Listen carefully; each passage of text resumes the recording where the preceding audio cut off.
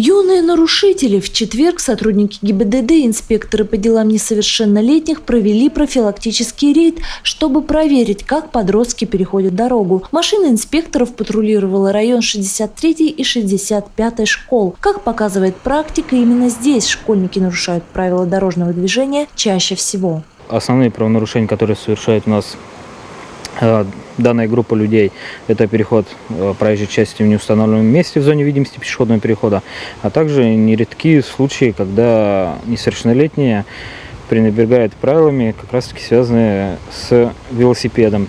За 8 месяцев этого года в дорожных происшествиях пострадало 50 несовершеннолетних. Как показывает статистика, в 17 случаях из 46 ЧП происходит именно при переходе дороги. Ребят, которые перебегают в неположенном месте, инспекторы останавливают и напоминают об осторожности. Кто-то пугается, кто-то начинает улыбаться, то есть защитный механизм, конечно, у всех разный, но в целом, когда разговариваешь, беседуешь с детьми, дети понимают и сразу осознают э, те поступки, которые совершают. Много происшествий происходит и по вине юных велосипедистов. Они пересекают дорогу, не слезая с двухколесного транспорта и частенько не смотрят по сторонам. Теплые деньки еще не закончились, и соблазн разогнаться по проезжей части и срезать путь слишком велик. Давайте в стороночку отойдем.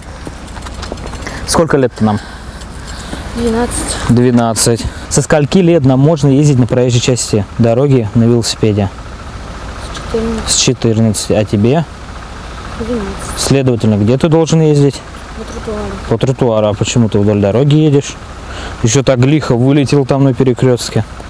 Информацию о юных нарушителях направят в школы, где ребята учатся. Там с ними проведут воспитательные беседы и сообщат о правонарушениях родителям. Мария Метлицкая, Денис Денисов, РТВ Иванова.